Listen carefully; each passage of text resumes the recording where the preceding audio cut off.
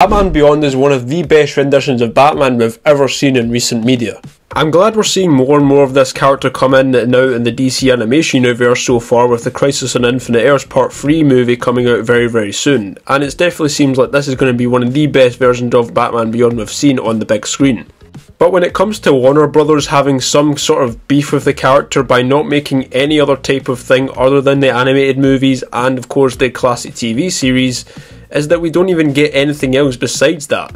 The only other rendition of Batman Beyond we saw in gaming was in Arkham Knight, with the incredible Batman Arkham suit. I think that was probably one of the best renditions of the character.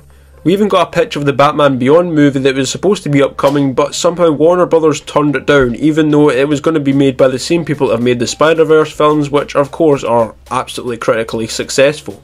I really don't understand why no one would want to have a Batman Beyond movie. I mean, that thing would absolutely slap right in the face. But it honestly seems like Warner Bros. care more about the DOS rather than actually making some other Batman Beyond things and just focusing fully on DC animation. Seeing him back in Crisis on Infinite Earths Part 3 does give me some hope that we will see some kind of form of Batman Beyond media in the future, but as far as gaming, it doesn't seem like they have anything planned for it yet. One thing I really do not understand is why the hell would you not go into more successful businesses with this character and actually make even more money as opposed to just making animated movies all day that no one might not actually want to watch? Especially if it did become a major flop, like uh, surely DC animation just isn't what it used to be, and we're kind of occasional to flops every now and then.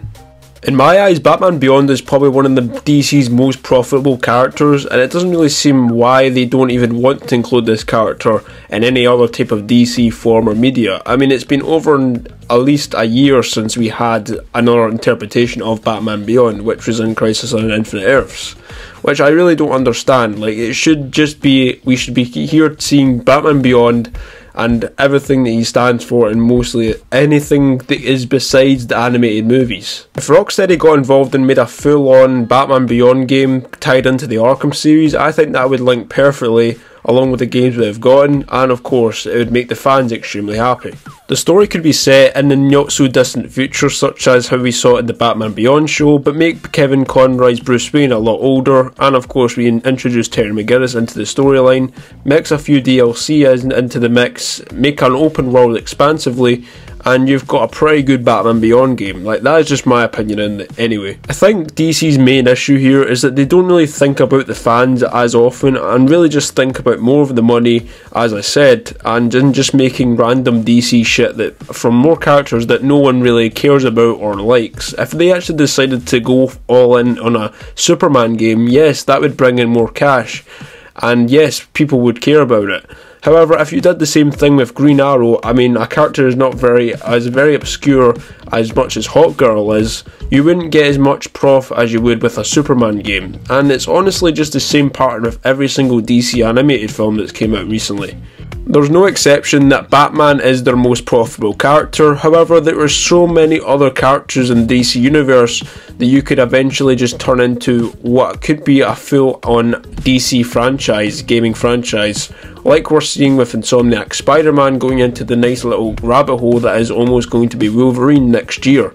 And with Marvel going down that exact route, why wouldn't DC want to do it and actually go get some competition in there instead of just making random DC animated movies, which probably make a little tiny bit of profit to fill their pockets, but no actually make what actually everyone wants, and that is more Batman stuff. But yeah, again, I think there's a lot better, more media that we can get than just Batman. I mean, even tie it into a Batman Beyond game and possibly even link it in with a Superman game. It doesn't have to be perfectly just all right on with the Arkham series. It could link into even more different timelines and different universes, which it could easily do if they actually decided to make Batman Beyond and led him into a whole different area in the DC universe, and that would make the whole expansive gaming experience even better for the player because they will always want to come back and see what they're actually planning on next, what they're going to try and do for the next game, and this could actually make the DC's overall profitability so much fucking higher. It is nuts. It's just crazy how they could easily just one up Marvel by doing this entire strategy, but they'd rather just stick to the things that fans do not like and just make some absolute garbage. The only piece of animated DC media that DC have properly got right in nowadays is pretty much Crisis on Infinite Earths. Like I can't think of any other things that they have done recently that have been exceptional, except from possibly a little bit of Batwoman because Batwoman was also really good. I did enjoy it a little bit, and um, I would say Gotham. Gotham is isn't a bad show. A lot of people give it some crap for what it is, but I think it's personally not too bad.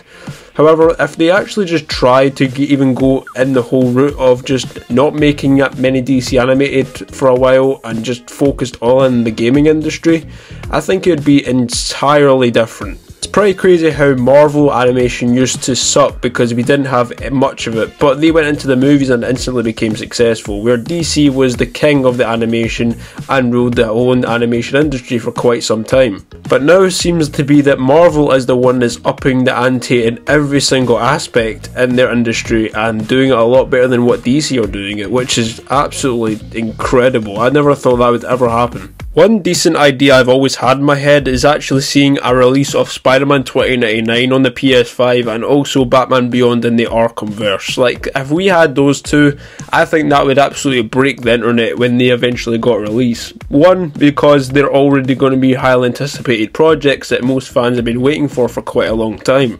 And number two, it actually rise up the Marvel rivalry between DC and make them either way compatible with each other. And also they give them some similarities to actually compete against one another in order for the fans to choose which one they'd actually want to play the most. I think the main problem we have here is that DC really do not want to be as competitive as Marvel and release a very bad title that we will not eventually get and it will probably not as uh, succeed as much as Marvel has with their Insomniac games and also with the future projects they've got coming out in recent time. However, if they actually just tried to put out something decent rather than Suicide Squad kill the shit league, then they'd probably get somewhere. With the release of Batman Arkham Shadow, I can't really see DC mucking up another VR game despite how bad Arkham VR was. I mean, hopefully they just get it right this time and don't disrespect the fans even more in this types of games because these are the types of games that fans go crazy for and are willing to pay the extra dosh for. So they have to make sure it's perfect before actually trying to release something like this. And then hopefully we may even get more additions to the Arkham series, like such as Batman Beyond. But it's very unlikely that we'll ever get that anytime soon, and we're just kind of high hopes right now. So honestly, I don't know what the hell DC have got planned for the future, but I'm just hoping that it's something decent and just not entirely obscure that no one's ever going to pay for. Whatever DC's next project is, I hope to God they don't let down the fans, as most of them are incredibly loyal, especially with the Batman media, and actually instead to just make a really good, fun project that everyone is going to enjoy. As long as they don't do another Kill the Justice League, they are still in my good books at the moment, so I mean, you really can't complain just now. But without further ado, let me know what you guys think down in the comment section. Do you think Batman Beyond will ever get made? Or do you think it's just a slum that's waiting to not happen ever? In my opinion, I think it's mainly down to them not really enjoying Batman Beyond. They've done what they want with the character as of follows, and I think Crisis on Infinite Earths Part 3 is probably going to be the last we're going to see the character, which is pretty fucking sad, I can't lie, because this is a fan favourite that everyone's going to enjoy. Uh, but DC just decide to miss out on so much cash because they want to think more about themselves rather than the fans, which I don't know, it just feels like kind of just disrespectful in every way. But let me know what you guys think of this topic down below.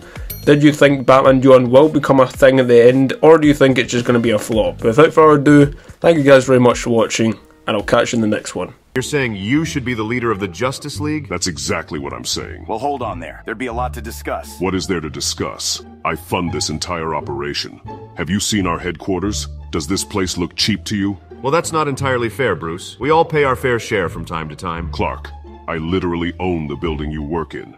You're paying me with my own money. I feel like there are other qualifying factors in being the leader of a superhero team. You know, like actual superpowers. Do you really want to go there, Flash? Well, he does have a point there. What good are superpowers if the weakness outweighs them? Kryptonite is a very rare mineral that very few people even know about or have access to. I stopped a purse snatcher the other night and he had three of them in his pocket. Okay, I admit, it's become a bit of a problem. And it's not just the green one. There's also the red one, the black one, the pink one. Can we please not talk about the pink one? He's definitely got you there, Clark. You're not any better, Barry.